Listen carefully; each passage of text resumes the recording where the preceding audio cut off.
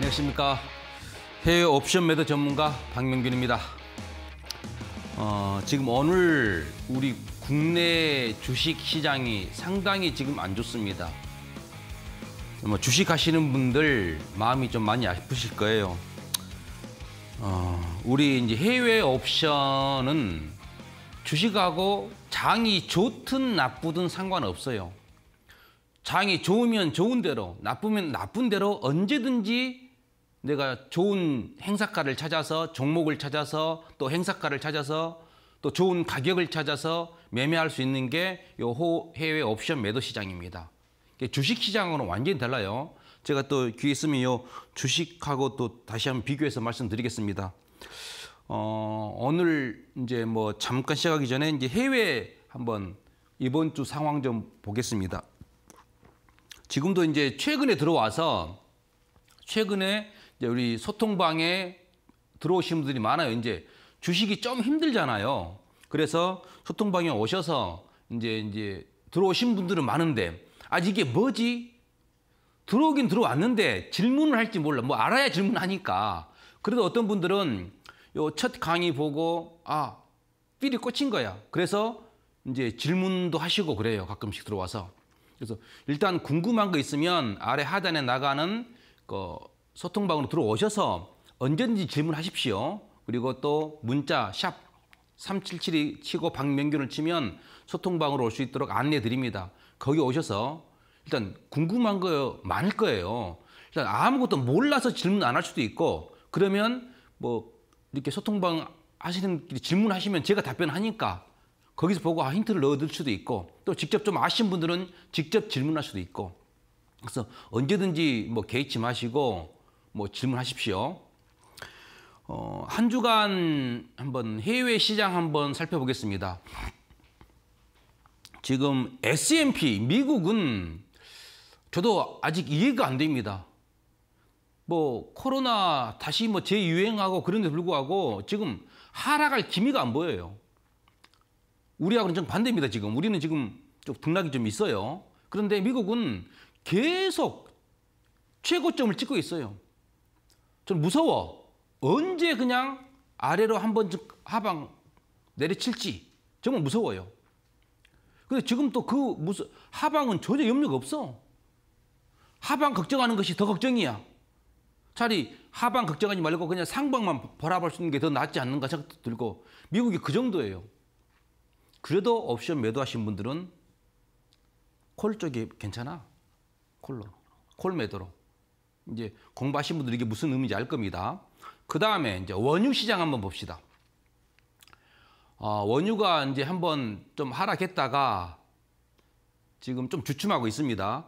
상, 하락도 멈추고, 그 다음에 그렇다고 해서 상승이 확 일어나는 것도 아니고, 지금 뭐 20, 122평선으로 보면 122평선, 거기서 지금 지지받고 위에서도 좀 가두리 장사라 그럴까요? 그런 장세가 펼쳐지고 있어요. 왜? 8월부터 지금 증산을 원유 증산을 했잖아요. 그리고 미국은 계속 오펙이나 오펙 플러스에게 뭐야 원유 증산을 요구하고 있습니다.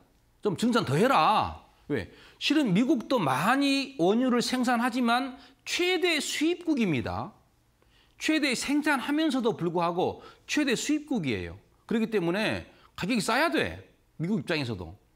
수입하려 그러면. 그러니까 OPEC, OPEC Plus에게 좀 많이 생산하라라고 압박을 가하는 형식이 그래서 일단 원유가 올라가는 게 좀 상승을 좀 제한해요. 그다음 하락도 쉽지는 않고 현재 추세로. 그 다음에 이제 우리의 오늘 설명할 주제인데 요 천연가스. 자 이번 주부터 하락을 뭐 본격적으로 좀 시작했어요. 본격적으로. 우리의 화두는 지지난주부터 계속 천연가스 노래를 불렀습니다. 천연가스. 1년 농사 질치를 요 천연가스 준다. 좀 이따 천연가스 다시 오늘, 오늘 주 내용이니까. 그 다음에 농산물, 옥수수, 밀, 자, 농산물은 옥수수하고 밀하고 크게 대두가 있습니다. 근데 지금 밀이 좀 독단적으로 움직여요. 왜 그런다고요? 옥수수하고 대두는 미국이 사, 엄청 많이 재배합니다. 특히 옥수수는 뭐 제일이고 그 다음에 브라질 쪽하고 그런데 밀은 전 세계적으로 재배를 합니다. 특히 어디서 유럽 쪽에서 많이 재배를 해요. 그런데 지금 유럽이 어째요?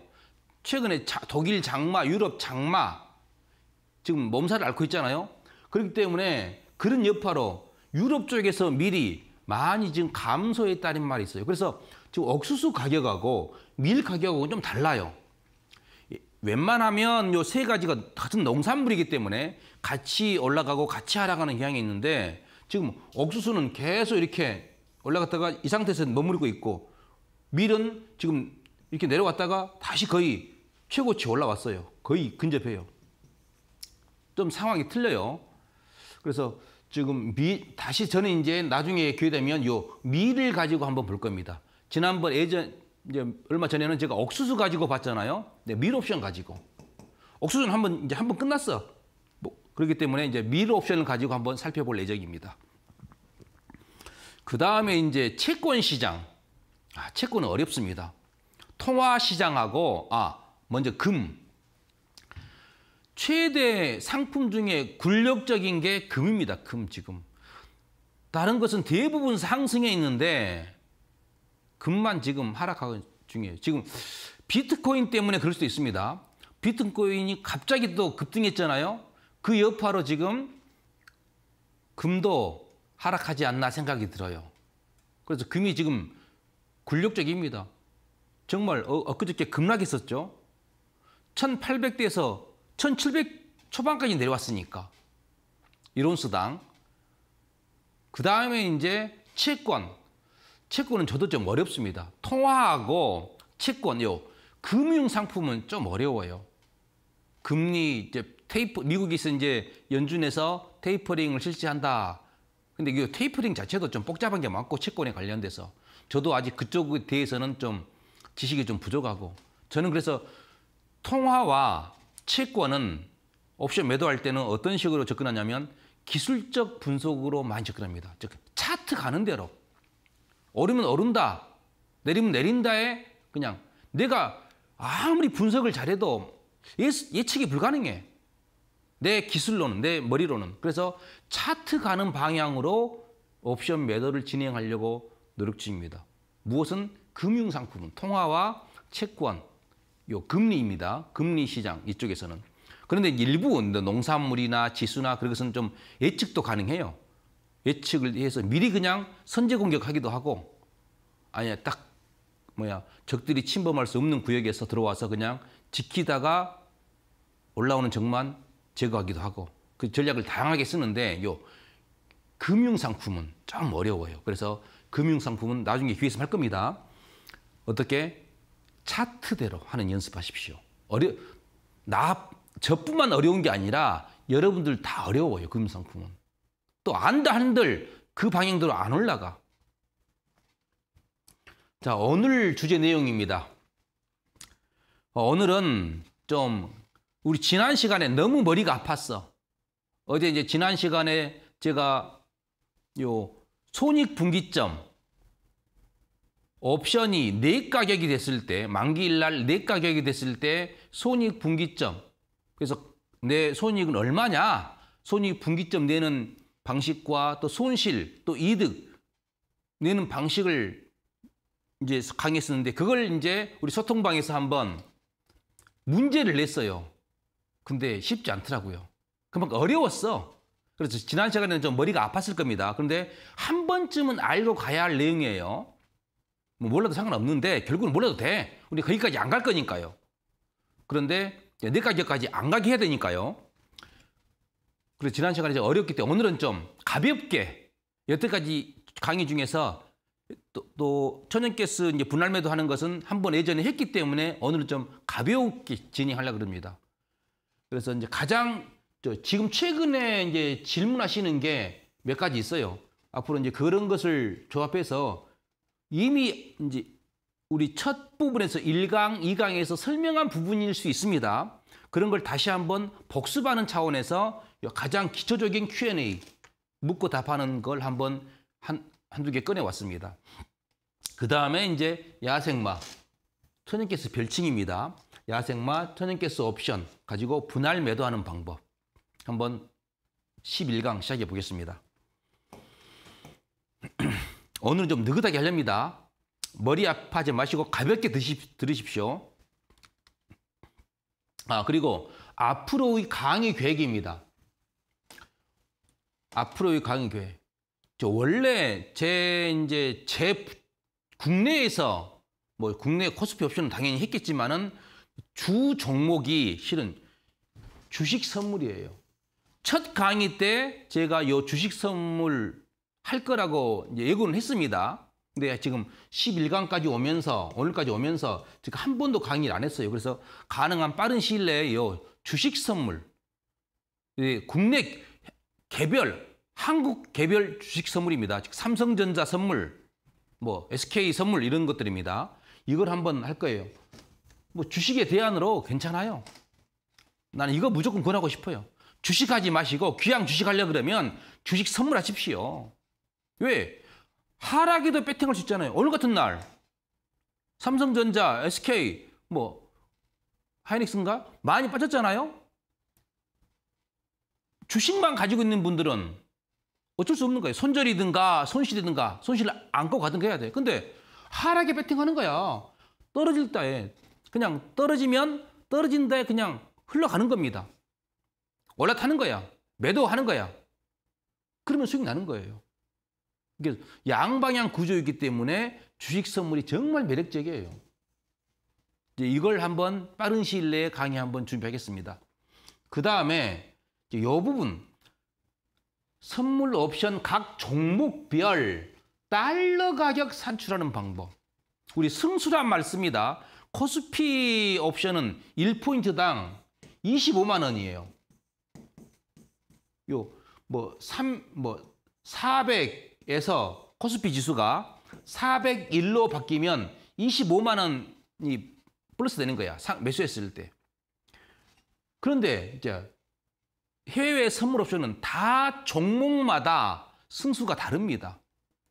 가장 많이 하는 원유 같은 경우는 천을 곱해줘야 돼, 천. 오늘 할 거, 천연가스는 만을 곱합니다, 만. 승수가 천, 만 그래요. 여기서 이제 달러 가격을 직관적으로 이해를 해야 돼, 직관적으로. 딱 보자마자. 그게 이제 틱 가치하고 한 틱이 움직이는 폭이 이제 증권사 HTS에 나와 있습니다. 그런데 그게 이제 자주 안 하다 보면 직관적으로 안 들어와요. 저도 지금 헷갈려요, 솔직히. 원유하고 천연기수에 많이 해. 또 S&P 같은 경우는 많이 하기 때문에 금방 하는데 통화, 통화 다 달라요. 호주 달러, 엔화, 유로 다 달라요. 또 채권, 채권은 32진법이래요. 32진법. 다 달라. 읽는 방 읽는 방식도 다르고 표기도 다르고 그래서 그걸 연구를 많이 해야 돼요. 또 농산물도 마찬가지예요. 농산물도 8진법인가 12진법인가 기래요. 그걸 10진법으로 환산해야 돼. 그게 이제 빨리 안 들어와요. 여러 번 해서 익혀야 됩니다. 그나마 농산물은 좀 쉬워. 채권은 좀 단위가 길어가지고 복잡해 더. 저도 이제 엑셀에 저장해 놓고 그때그때 분석합니다. 아, 이, 이 정도면 달러 가격을 얼마다라고. 이제 그런 부분을 한번 시간 내서 공부 차원, 교육 차원에서 한번 싹 같이 공부할 시간이 있을 거예요. 그 다음에 이제 옵션 매도, 본격적인 옵션 매도 방법 중에서 기술적 분석하고 기본적 분석. 기술적 분석은 어떻게 하는 겁니까? 차트야. 또 보조 지표. 이런 것도 이평선이라든가 MACD, RSI, 뭐 스토캐스틱 우리가 흔히 쓰는 뭐 보조 지표 많이 있죠. 그걸 활용해서 하는 거. 그래서 기본적 분석. 뭐 수급이 어쩌더라. 이번에 반도체 뭐 상황이 어쩌더라 할 때 뭐 기본적 분석 쓰잖아요. 뭐 지금 날씨가 안 좋아서 농산물 작황이 안 좋더라. 그럼 농, 농산물은 올라갈 것이고 그런 기본적 분석들 또 뭐야 세계 경제가 너무나 화랑이야. 그래서 기름 소유, 수요가 많을 것이다. 그럼 당연히 원유 가격은 올라가죠. 이런 기본적 분석들. 이거에 따른 옵션 매도 방법이 있습니다. 그 다음에 이제 본격적으로 또 전략. 옵션 매도는 정말 전략이 다양해요. 이 전략에 따른 옵션 매도 방법. 이게 설명할 거 많습니다. 그 다음에 이제 또 그때그때 상황에 따른 최적의 옵션 매도 종목 발굴해가지고 뭐 하는 방법? 분할 매도하는 방법. 실은 이게 다죠. 그때그때 상황에 맞는 옵션 찾는 게 다야. 나한테 맞는 옵션 종목의 그 행사가의 그런 가격을 찾는 것이 옵션 매도 다합니다. 이런 걸 가지고 차근차근 강의할 겁니다. 아마 주식 선물에 대한 강의를 조만간 가능하시면 빨리 좀 준비하려고 그래요. 좀 제가 바빠가지고 게을러서 좀 그랬는데 워낙 또 지금 막 한참 해외 옵션 강의하고 있다가 좀 탄력 받았는데 주식 선물하면 좀 흐름이 깨지는 경험도 있어가지고 좀 미루기도 했었고 그래도 지금 옆에서 이제 내가 원래 이쪽 많이 하니까 주식 선물을 빨리 한번 강의 해 주십시오라는 또 요구가 있어서 주식 선물도 한번 빠른 시일에 다룰게요. 그 다음 제가 늘 하는 말 옵션 매도 뭐 한다? 분할 매도한다. 뭐 하듯이? 적금 들듯이 자금이 많으면 매일 아니면 하루 걸러서 이틀 걸러서 혹은 일주일에 한 번씩 자금의 사정 따라서 어떤 것으로 실현 나름대로는 분석을 해야 돼. 실현 불가능할 가격대를 중심으로 그 행사가를 중심으로 매일 적금 들듯이 뭐 한다? 분할 매도한다. 분할 매수가 아닙니다. 우리 주식은 분할 매수라는 용어를 쓰죠. 우리는 뭐라고? 분할 매도입니다. 분할 매도하는 연습하는 겁니다. 자, 그 다음에 이제 기초적인 질문 한 가지. 옵션은 만기일이 있다고 하던데 옵션 매도를 한 번 진입하면 만기까지 계속 들고 가야 합니까? 아, 우리 선물이나 옵션은 뭐예요? 월물이 됐어요. 월물. 뭐 8월물, 9월물, 12월물 이렇게 월물이 있어요. 그러면 그 월물의 날짜에 맞게끔 이 선물 운명이 끝나. 옵션도 자기 운명이 끝나요. 그 날짜에 맞추어서. 주식은 안 그러잖아요. 상장 폐지가 되지 않으면 계속 갑니다. 그런데 이 선물이나 월물은 월물이 있어요. 딱 끝나는 날이 있어. 자기 전속 기간이 정해져 있어. 그러면 이렇게 생각해. 옵션은 만기일이 있는데 옵션 매도를 한번 진입했으면 만기일까지 끝까지 들고 가야 되냐고. 아닙니다. 주식처럼 만기일 전에라도 언제든지 사고 팔 수 있어요. 그래야 제가 설명했죠. 200% 손절원칙. 손절원처럼 손, 주식처럼 잘라야 되거든. 매일 자를 수 있는 거야. 언제든지 사고 팔 수 있습니다. 그런 건 걱정 안 하셔도 됩니다. 만기까지 가져갈 필요도 없고 또 이득이 많이 났다. 날짜가 많이 남았어. 그러면 빨리 익절하면 되는 거예요, 그냥. 이거 만기 만기일이 있지만 그 전에 언제든지 사고 팔 수 있습니다. 이게 가장 많이 물어보는 질문이에요. 그 다음에 두 번째 오늘 질문 세 가지 준비했어요. 옵션 매도 초기 시작금은 얼마가 적정한가? 이제 이런 분들을 생각, 아, 옵션 매도는 좀 돈이 많이 써야 하더라. 그거 맞아요. 왜? 많이, 많으면 많을수록 같은 수익률이라도 자금이 많으면 많을수록 더 쉽게 달성할 수 있어요. 그 이유가 뭐예요? 자금이 많을수록 전략 자기가 소라기 때문에. 자, 제가 제 책에서도 설명했었고 첫 강의에서도 설명했습니다. 두 번째 강의인가 거기 설명했어요. 5천만 원에서 1억이 가장 무난한 시작 자본금이에요. 최소 5천 원 시작해라라고 말씀드리고 싶어요. 좀 느긋하게. 적게는 1천만 원으로 가능해요. 더 적게는 뭐 30만 원도 가능해요. 30만 원도. 10만 원도 가능해. 10만 원짜리 가격대가 있을까 모르겠지만 잘 찾아보면 있을 수 있어요. 근데 귀향이면 뭐 해라? 좀 많이 준비해라. 귀향이면 하려면. 그래서 그래야 전략자기가 편해요. 작으면 또 욕심도 내게 내지고 자금이 좀 많으면 욕심을 좀 제할 수도 있고 그래서 일반적으로는 5천만 원에서 1억이 가장 이상적이라고 얘기를 해요. 더 많으면 더 좋고요. 왜? 전략 자기가 소홀해지니까. 또 같은 수익률이라도 더 쉽게 달성할 확률이 커요. 그 다음에 세 번째 질문. 질문 마지막입니다. 이게 이제 어려워. 엊그저께도 이제 제가 교육생 한 명 교육을 했는데 이 개념이 어려운 거야. 매수는 알겠어. 자, 매수는 뭡니까? 제가 삼성전자 주식 매수한다 그러잖아요. 그러면 이제 내가, 사는 거야. 삼성전자 주식을 주식을 사는 겁니다. 처음부터 이제 뭐 하는 겁니까? 매수 버튼을 누르는 거예요. 얼마에? 예를 들어서 8만 원에 삼성전자를 매수하겠다. 그러면 8만 원 가격 찍어 놓고 뭐 종, 종목 수 클릭하고 매수 버튼을 누르면 이제 사지는 겁니다. 그리고 나중에 뭐 하는 겁니까? 청산할 때는 뭐 하는 겁니까? 매도 버튼 누르면 돼. 그럼 청산하는 거야. 그런데 처음부터 매도다. 처음부터 내가 옵션 매도한다 그랬잖아요. 처음부터 매도 이게 뭔 말이지? 자, 물건이 없어 내가. 어떻게 처음부터 매도할 수 있습니까? 이런 질문이 들어와요.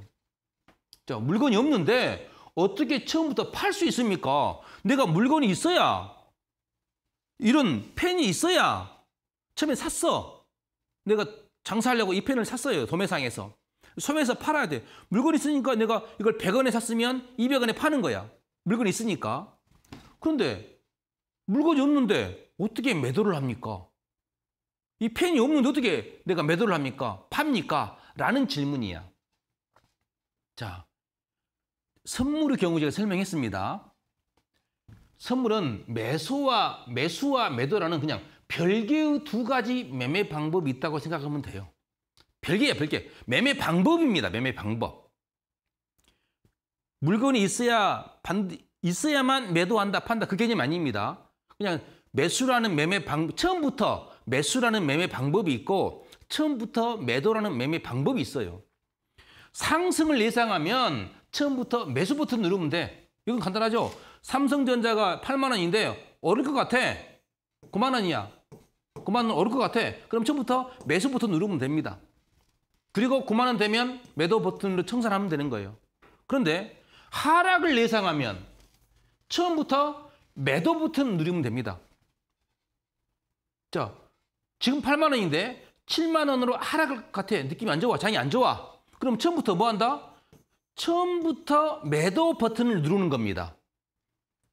7만 원 됐어. 그러면 뭐야? 그 다음에 청산할 때는 다시 거꾸로 매수 버튼을 눌러, 눌러서 청산하는 거예요. 처음부터 그냥 매도 버튼 눌러서 매매를 시작하는 거예요. 매수와 매도 별개의 매매 방법이 있다라고 생각하십시오. 꼭 물건이 있어야 파는 거 아닙니다. 이렇게 설명하면 이해하려는가 모르겠네요. 자, 오늘 이제 기본적인 질문은 끝났고 이런 식으로 기회가 되면 이렇게 여러분들이 궁금해하는 점들 한번 갖고 와서 뭐 Q&A로 이렇게 만들어 보려고 그럽니다. 오늘 또 천연겠습니다. 우리의 효자입니다. 효자. 효자, 효자, 효녀입니다. 현재 옵션 매도자들에게는 옵션 매도자들에게는 옵션 매도자에게 천연가스가 1년 농사를 짓게 도와줘요. 지금 상황이 그래요. 한 두 달 전에 뭐가 그랬습니까? 옥수수가 1년 농사 짓게 도와줬습니다. 지금은 천연가스가 어제 급락했습니다.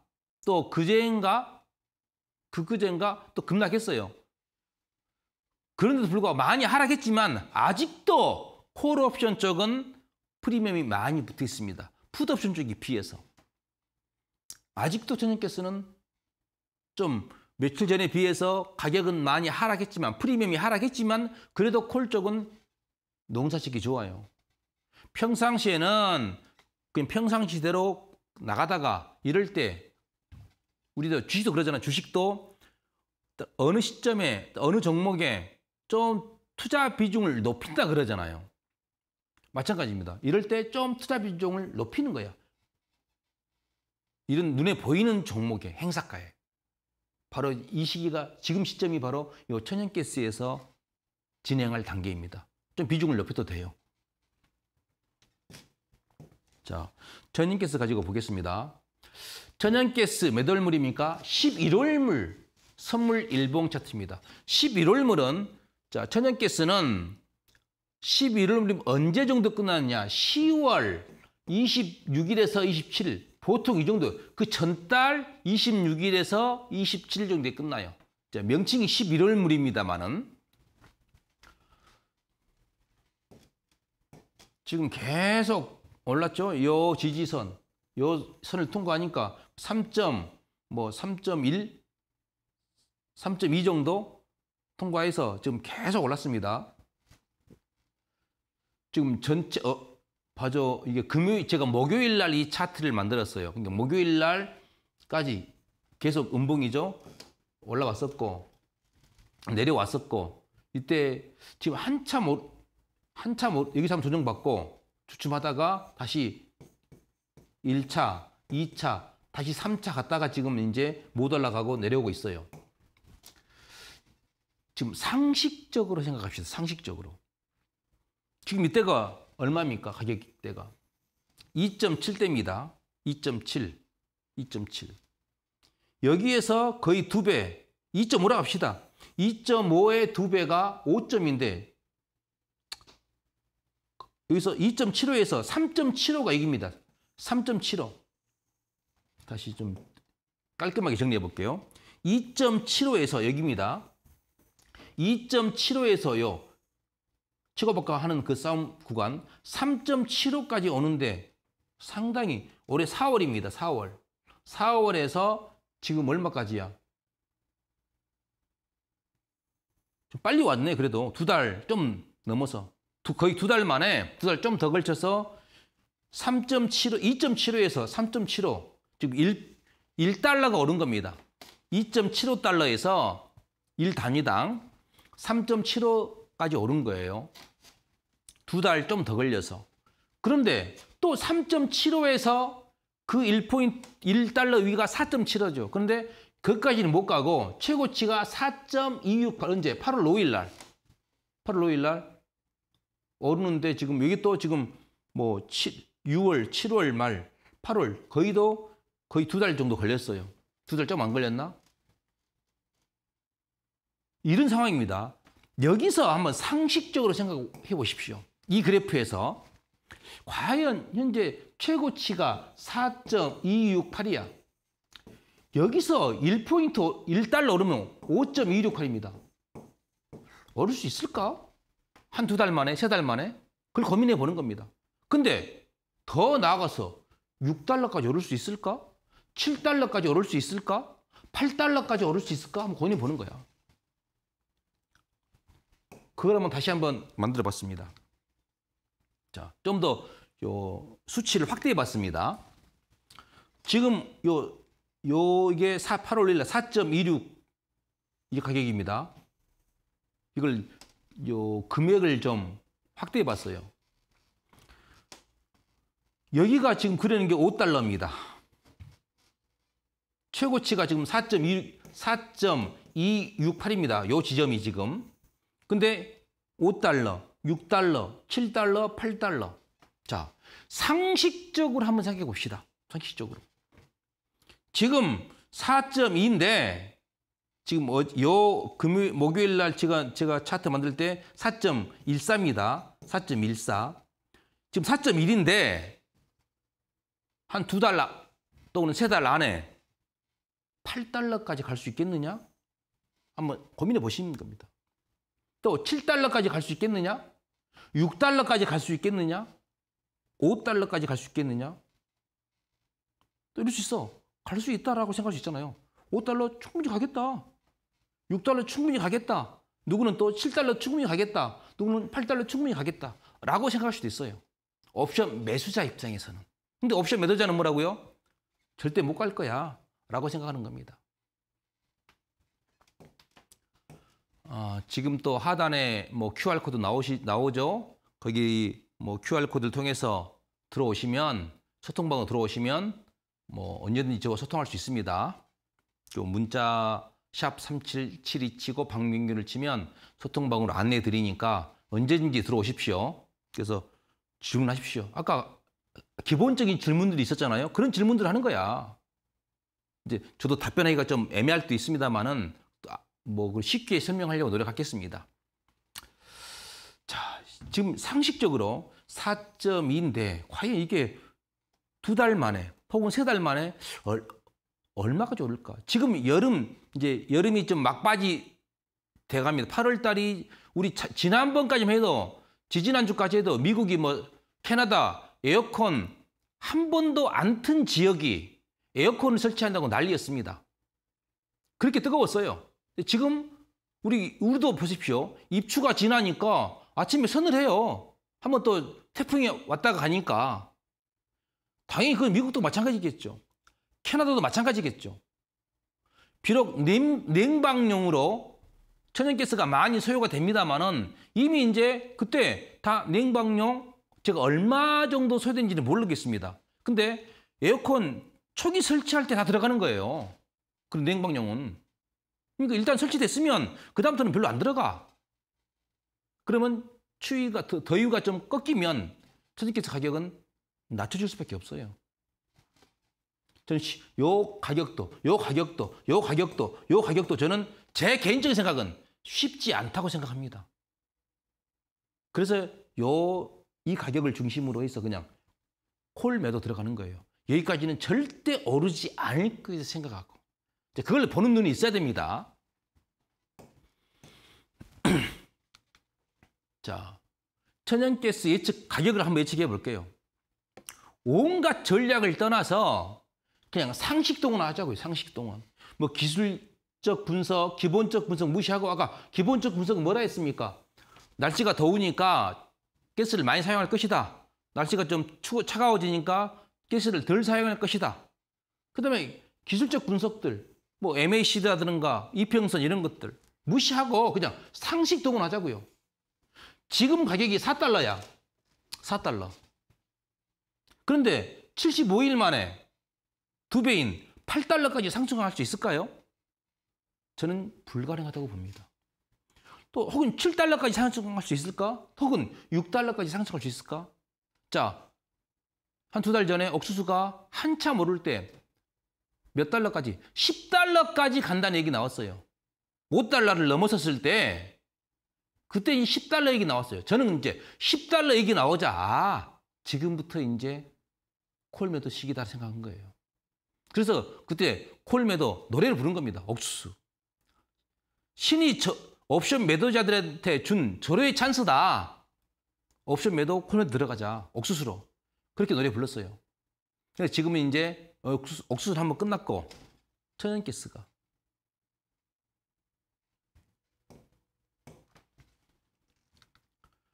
자, 분할 매도의 매력입니다. 계속 지금 제 강조하는 게 분할 매도입니다.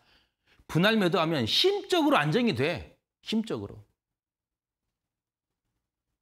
이걸 한번 혹시 뭐 가격 분석 잘 하신 분들은 한번 엑셀에다 다 돌려봐요. 그러면 정말 어메이징 합니다. 어메이징해. 천연자 우리 전투 다시 이름 지었습니다. 천연가스 11월물 명칭이 그냥 6월 30일 전투. 우리 이순신 장군의 난중일기처럼 날짜별로 그냥 날, 날짜별로 천연기수 11월 6월 30일 전투. 그런데 우리 전쟁 그러죠. 뭐 동부전선, 서부전선 그러잖아요. 전쟁할 때 전선을 어떻게 콜옵션 행사가 7.0 7.0 콜옵션 행사가 7.0 전선이라고 이름 지었습니다. 요 7.0은 어디라 했어요? 여기입니다, 여기. 지금 여기인데 여기 이 가격에서 이 가격이 안 될 거라 생각하는 게 7.0입니다.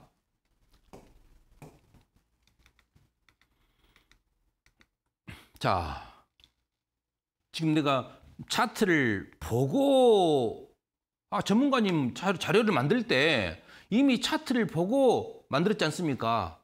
그걸 한번 깨려고 상식을 깨려고 자 지금 제가 차트를 요 날짜까지 6월 29일까지 보여줬어요. 지금 계속 올랐어. 근데 하루, 지금 하루 이틀, 3, 4, 5, 6, 6일간 쉬지 않고 올랐어요. 상당히 어른 겁니다. 근데, 저, 어? 음봉 윗꼬리가 상당히 길어요. 그러면 일반적으로 이렇게 생각한다고. 아, 이제 하락할 수 있겠다라고 생각하잖아요. 아무 생각 없이 이때부터 이제 콜옵션 매도를 준비했다 가정합시다, 그냥. 요 음봉 하나 보고서 다른 조건 없이.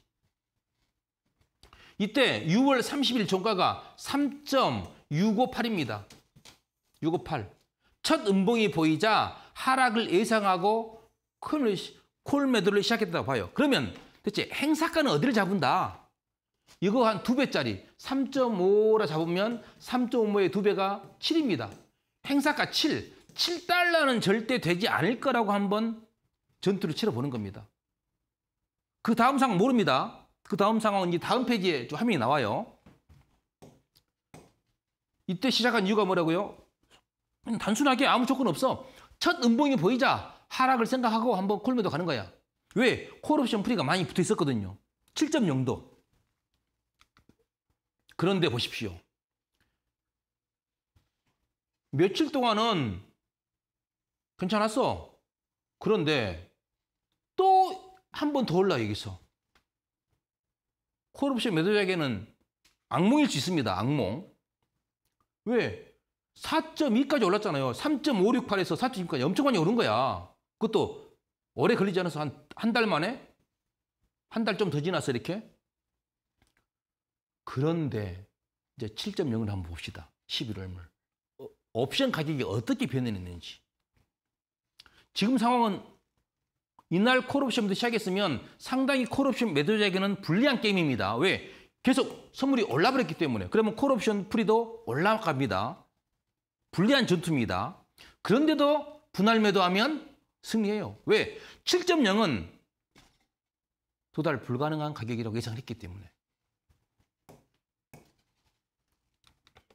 자, 내가 또 자주 언급하는 장군들입니다. 우리 충무공 이순신 장군, 로마의 카이사르, 시저, 그다음에 몽골 장군 수부타이. 수부타이는 잘 몰라요. 저도 유튜브를 보고 알았습니다. 징기스칸 말고 수부타이. 이분들의 공통점이 뭐예요? 제가 강의 설명했습니다. 자, 카이사르하고 수부타이는 주로 국내에서가 아니라 카이사르 로마에서가 아니라 우리 갈리아 여행, 갈리아 전투기 유럽, 영국까지 다 정복 사업입니다. 정복이에요, 정복. 로마에서 로마, 로마를 지키는 것이 아니라 정복 사업이에요, 정복. 그 다음에 수부타이. 유럽까지 정복했잖아요. 이태리까지 갔습니다. 수부, 몽고군이. 뭐, 헝가리, 폴란드, 러시아. 이태리까지 갔어요. 이태리 그냥 철수했지만은. 다 정복이에요. 원정군이에요, 원정군. 자, 원정군은 본토 그 나라 군인들보다 군인 수가 작아요, 많아요? 작을 수밖에 없어요. 군량미도 적고, 먹을 것도 적고, 병사도 적어요. 그러면 전면전을 치른다? 그건 안 되는 거야. 그래서 카이사르하고 수부타이는 뭐 한다? 지켜보는 겁니다. 적군한테 적군을 유인하는 거야. 적군이 올 장소에 매복하고 있는 것이야. 그러다가 치는 겁니다. 이게 우리 전략이에요, 지금. 근데 이순신 장군은 전략가야. 한편 매복했어. 일본군이 뭐야, 우리 목포를 지나서 목포만 지나면 서해안 타고 올라가요, 서울로. 그 목포 유달산에서 고화도에서 일본군 길을 막은 거야. 왜? 근데 전면전은 할수 없어요. 전면전은. 그냥 고화도와 목포 앞바다에 병력을 배치해놨다가 거기서 숨겨놨다가 일본군을 그냥 격파하는 겁니다. 왜? 전면전 하면 우리가 숫자가 부족해. 또 해군이 약해. 우리 배도 몇 개 없어. 다 뭐, 뭐 하는 거예요? 잠복해서. 잠복해서. 기회를 기다리는 거야. 지금 이 공통점이, 이 세 장군의 공통점이 뭐냐? 기회를 뭐 한다? 기다리는 겁니다. 기회를 기다려. 함부로 전투 치르지 말고 내가 싸워서 분명히 이길 전투가 될 때까지 기다렸는 겁니다. 이 공통점들. 우리도 여분들의 이분들의 전술을 배워야 됩니다. 그럼 무조건 이겨요. 자, 천연기스 11월물 7.0 전선입니다. 좀 빨리 진행할게요. 이제 다 기본 베이스는 끝났으니까. 행사가 7.0을 베이스 캠프로 삼은 이유. 여러 이유가 있겠지만 상식적으로 생각해서 현재가의 두 배, 아까 3.658 그랬습니다. 그 당시에 3.5로 잡으면 7은 두 배예요. 과연 두 배가 되는 것은 75일 만에 만기 75일 남았으니까 불가능할 거라고 생각한 거예요. 그냥 상식 다른 거 없어. 상식으로 동원한 겁니다. 그리고 7.0을 그래서 베이스 캠프 삼은 거예요. 7.0이 기다리고 있다가 올라오는 접근 잡는 거야 그냥. 그럴 때 자, 이게 선물입니다. 6월 30일에 전투 시작했다 했잖아요. 3.658 계속 요 4점까지 올라왔죠. 그 다음에 어디까지? 4.119, 137 최고치 언제? 4.219까지 221까지 올라왔네. 이게 최고치네. 8월 4일 날. 정상가 기준입니다. 거의 정가 기준이에요. 정가가 약간 다르는데 비슷합니다. 근데 자, 이때 얼마 들어갔어? 7달러가 되지 않을 것이다라고 빼, 또는 7달러가 될 것이다라는 서로 치고 치고 받고 하는 그 가격이 얼마였어요? 200 0.007은 천주께서는 만을 곱하면 승수가 만입니다. 만을 곱하면 270달러예요. 처음에 270달러 시작했습니다.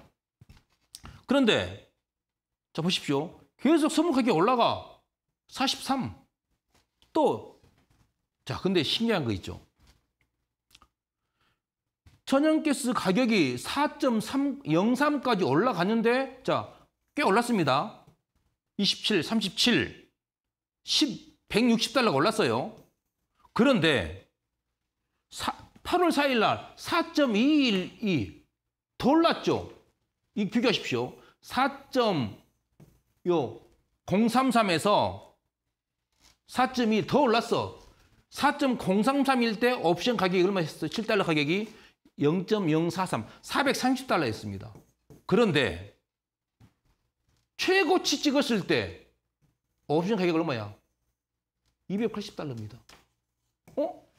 또 여기서 10달러밖에 안 올랐는데 천연가스가 3.658에서 이렇게 4.221로 엄청 올랐는데도 불구하고 옵션 가격은 10달러밖에 오르지 않았어요. 그런데 그 사이에 별로 떨어지지도 않았어요. 4.21에서 4.143. 자, 이날 보십시오, 이날. 4, 어, 4월, 3월, 8월 11일. 이때가 선물 가격이 처음 시작할 때가 3.658이야. 그런데 8월 11일 4.143. 많이 올랐죠? 그런데 옵션 가격 보십시오. 4.27인데 270달러인데 지금 얼마야? 170달러입니다. 더 하락했어요. 왜? 시간이 흘렀습니다. 시간이 흘렀는데 만기가 며칠 안 남았습니다.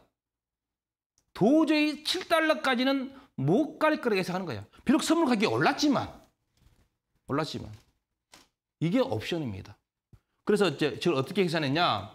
그냥 매일 한 개씩 매일 한 개씩 그냥 분할 매도했다 가정합시다. 요 정상가 가에 정상가에 그냥 이론입니다. 이론 결과 나온 것 가지고 제가 분석한 겁니다. 그러니까 8월 3, 6월 30일부터 8월 10일까지 총 29개였어. 평균이 0.029, 290달러입니다. 이걸 이제 계산 한번 해볼게요. 6월 30일부터 8월 10일까지 매일 한 개씩 분할 매도했다고 가정하자. 8월 11일 정상가로 청산했다고 가정하면 11월 옵션 만기 가정합니다. 그리고 11월 옵션 만기일은 10월 26일입니다.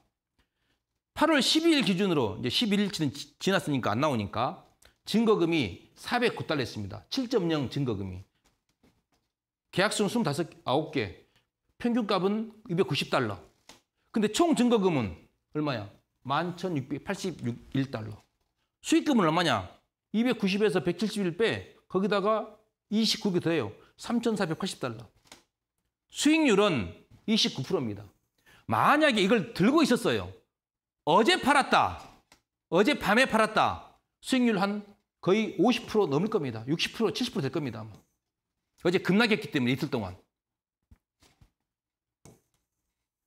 지금 내가 가정이지 더 놔뒀으면 거의 70% 육박해요. 70%. 이날 팔아서 그렇지. 이만큼 옵션 매도가 유리하다는 겁니다. 분할 매도했을 경우에 분할 매도. 몰빵하면 안 됩니다. 몰빵해서 운이 좋으면 많이 먹겠지만 은 그러다가 당할 수 있거든. 그래서 절대 몰빵하지 마시고 이렇게 해도 엄청난 수익이니까. 그 다음에 6월 9월물입니다. 잠깐 9월물 보겠습니다. 9월 똑같이 6월 30일 날 11월물 말고 9월물로 9월물은 시간이 안 남았어. 이거 똑같이 7.0을 볼게요. 똑같이 9월물입니다. 이날 시작했어. 연봉 때. 7.0을 베이스 캠프 삼은 이유 아까 똑같아요. 상식적으로 두 배는 안 돼. 대신에 월물만 다른 거 월물만. 두 달 빨리 끝나는 월물입니다. 가격 보십시오. 0.004였어. 즉 40달러였어. 40달러 가치가. 그런데 계속 0.03 이날 05 그 다음부터 04 이때부터 01로 고착됐어요. 그냥 어떻게 6월 30일부터 7월 27 6일까지 이날까지 그냥 매일 한 개씩 요 정상가로 매입했다고 가정합시다. 그때 18개야. 평균이 0.0033입니다.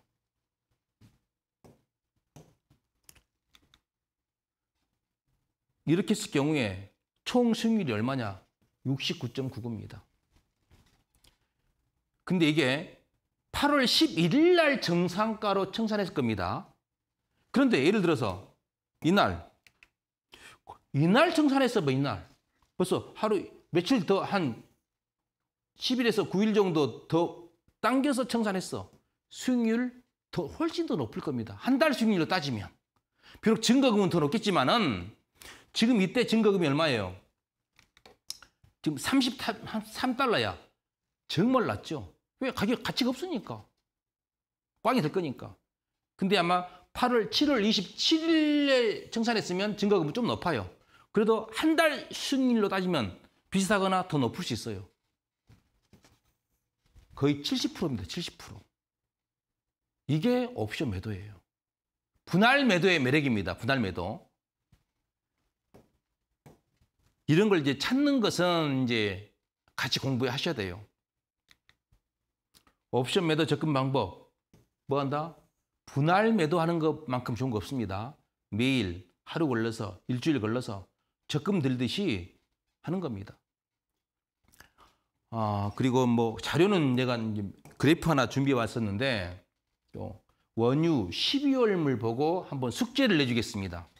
과연 이게 어떻게 될 것인지. 근데 선물은 어렵다 했잖아요. 그러면 여러분들은 뭘 어디까지 오를 것이냐, 오르지 않을 것이냐, 또 어디까지 하락하지 않을 것이냐, 그걸 한번 연구해 보십시오. 아, 이 정도면 안전하겠다. 이 정도면. 어, 이 정도면 원유가 제 아무리 경기가 안 좋아도 하락하지 않겠다. 또 지금 최고치가 72야. 그러면 올라봤자 얼마까지 오르지 않을 것이다. 그런 걸 한번 연구해 보십시오. 늘 공부를 하셔야 됩니다. 여기서 답이 나. 이런 연구해야 돼. 계속 가격 분석하면서 옵션 가격 다 나와 있으니까 정상가 또 과격, 과거 가격, 현재 거래된 건 나와 있어요. HTS상에. 그걸 공부하십시오. 어, 지금 오늘은 그래서 일부러 좀 가벼운 걸 준비했습니다. 이미 천연가스 이 분할 매도는 한 번 했었고, 그 다음에 어, 요 Q&A 이것도 이미 강의 한 것인데 이제 요 시간 있을 때마다 짤막한 Q&A를 지금도 이제 그 개념이 안 들어오니까 개념이 안 들어오니까 그래서 지금 다음 시간부터 계속 그런 질문들 중요한 질문들가 있으면 있으면 가져와서 한번 제가 얘기를 할 겁니다. 그리고 이제 다시 한번 하단에 QR 코드 나옵니다. 들어오셔서 어려워하지 마시고 언제든지 필요한 거 있으면 물어보십시오. 또 샵 377이 이제 치고 박명균을 치면 소통방으로 안내 드려요. 거기 오셔서 뭐 옵션 매도에 관한 거 꼭 옵션 매도 아니더라도 돼요. 주식하고 비교해 가지고 뭐 차이점이 뭡니까? 그런 것도 질문해도 되고 다양하니까 언제든지 들어오셔서 질문하시고요. 또 다음 시간에는 제가 또 뭘로 준비할지 몰라요. 주식 선물을 준비할 수도 있고 다시 옵션을 준비할 수도 있고 한번 봐가지고 더 좋은 걸로 준비해서 찾아뵙겠습니다. 자, 다음 시간에 뵙겠습니다. 감사합니다.